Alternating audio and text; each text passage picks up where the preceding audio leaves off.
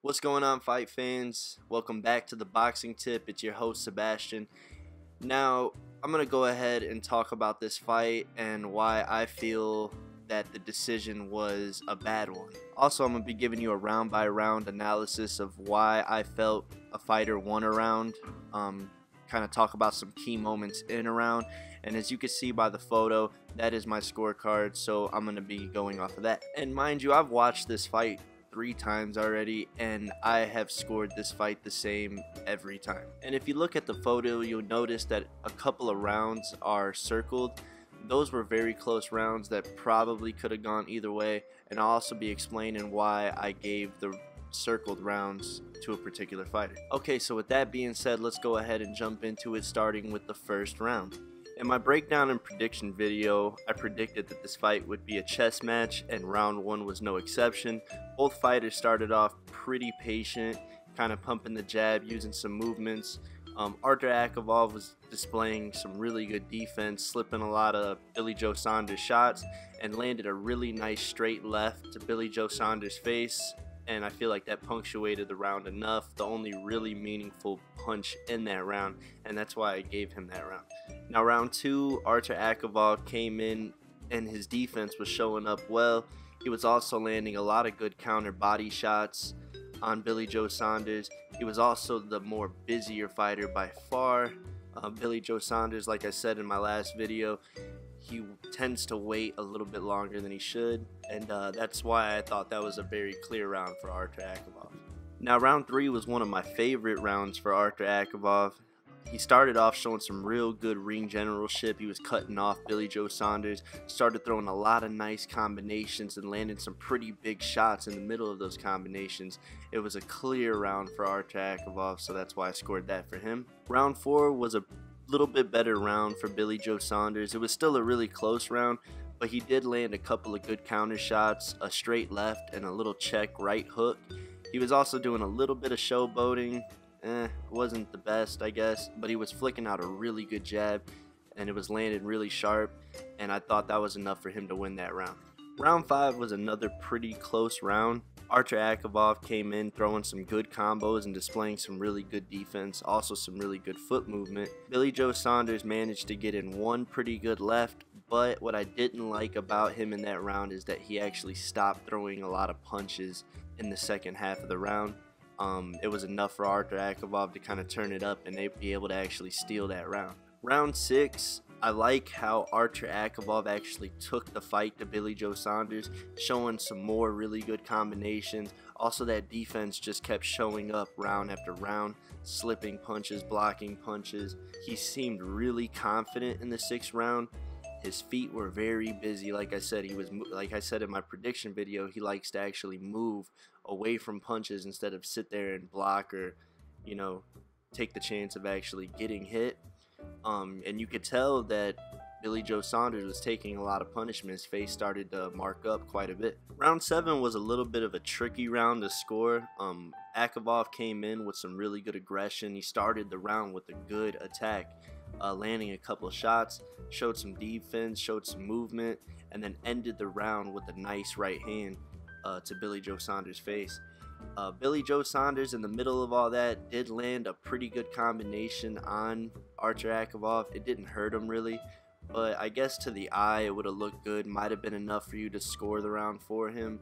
Um, me personally, I thought Artur Akavov did enough in the beginning and the end of the round for me to give him that round. In round 8, Billy Joe Saunders did a lot better. It's actually my favorite round by Billy Joe Saunders.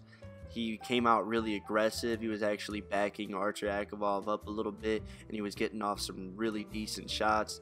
He seemed like he had the dominance in that round, and it was a clear round for Billy Joe Saunders. Round 9 was also a really good round for Billy Joe Saunders. Both fighters did land some really good shots, but Billy Joe Saunders' aggression and him bullying at Artur Akavov in that round to me was the difference and was enough for me to score the round for Billy Joe Saunders. Round 10 was probably the closest round of the fight. Artur Akavov came in with a good start, landing some really good combinations. Uh, but then he left it off the gas towards the middle of the round, allowing Billy Joe Saunders to come back and land a couple of good shots on his own. I think Billy Joe Saunders did enough in the second half of the round to actually take that round, um, but nevertheless, that round could have went either way. Now, round 11 and 12 were pretty much the same story. Artur Akavov was just coming in, throwing a lot of punches, landing a lot of good punches. He was backing up Billy Joe Saunders.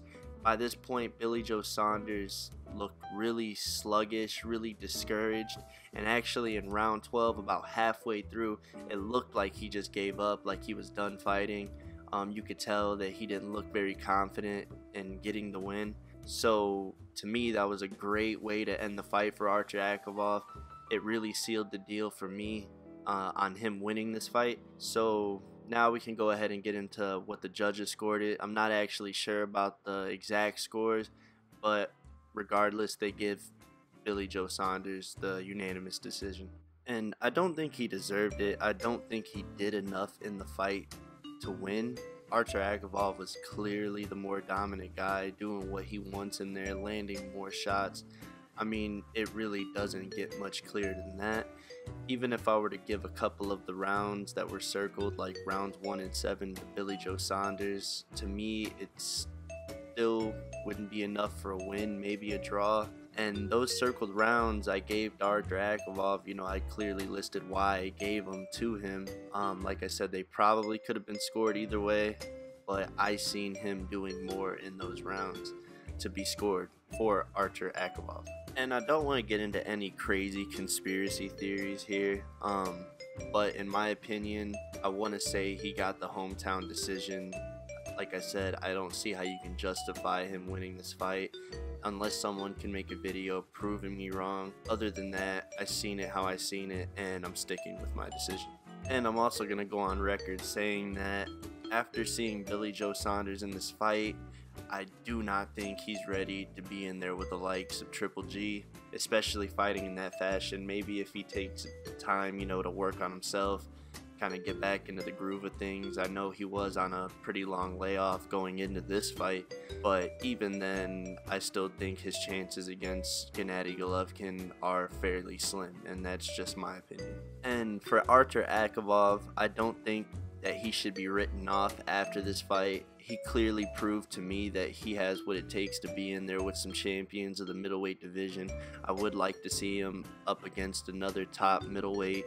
Not sure who, but any of them would do. Like I said, he's a pretty talented fighter. He's a really skilled guy, and I think he fares well with any of the top middleweights out there. But like I said, he didn't get the decision this time. Drop some comments in the comments section. Just let me know what you think if you've seen the fight and let me know who you would like to see both of these fighters in with next. But once again, I'd like to thank everybody in advance for watching this video.